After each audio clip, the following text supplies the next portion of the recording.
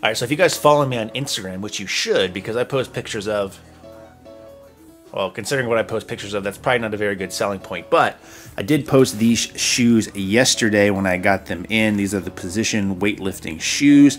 So they're geared more towards actual weightlifting, which I will not do I don't think ever, just not my style. But I originally saw these on Omar Isuf chan channel, and then Michael Corey also picked up a pair. Yes, they are blue suede, but what really sold me on them for wanting to try them out is the heel. So these have a one inch effective heel height. Uh, they also have a wood composite type heel. So for anyone that's been in the shoe game a long time when it comes to weightlifting shoes, some of the most popular ones out there have been the Adidas Adistars, and those were like the last real mainstream brand I would say that had a wooden heel.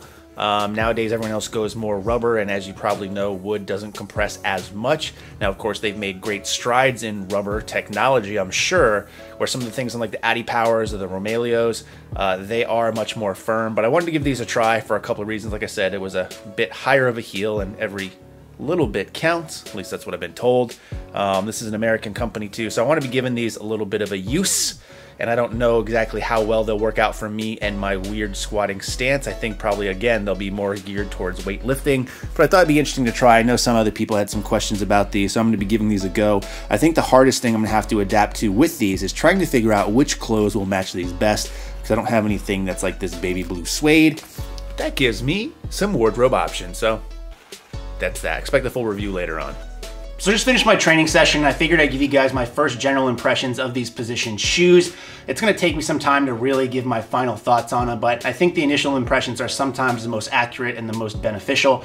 And I wore them today on my squat and bench press focus session. And one of the reasons I did it on this day, which is Sunday, is because for my squat work, I did three sets of seven at 180 kilos or 397 pounds. And that's actually one of my lighter days and rep work is just a kind of chance for me to, to bust out reps. And the reason I did that is I didn't want to go with something that I thought in my mind was going to be a big drastic difference with these higher heels and do it on one of my more intense days where the weight's heavier and I could potentially fuck my shit up if I wasn't careful. So I wanted to play a little bit safe but in that instance, wearing these for squats today, I honestly didn't feel that much of a difference in the shoes. I thought I would be pitched far forward. I thought my knees might hurt a little bit more than they typically do, which isn't that much these days.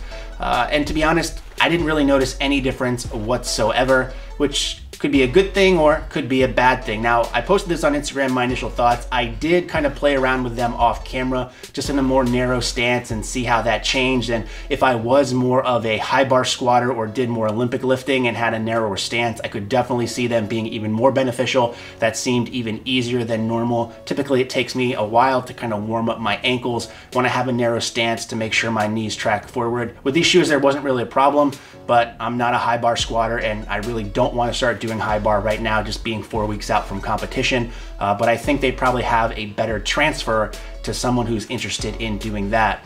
I will say though, as part of this rep work that I was doing, I did kind of take my mind off things as sometimes happens when I'm doing rep work. So higher reps in this case, again, uh, sets of seven. In one of the instances, my typical cue is to load the weight on my heels. I just find that works well for me. And I was just in the middle of doing this rep work and I kind of took my mind off that fact and I did get pitched a little bit forward on one of the reps and I thought for a second I might have to dump the bar. My knees came in to correct it.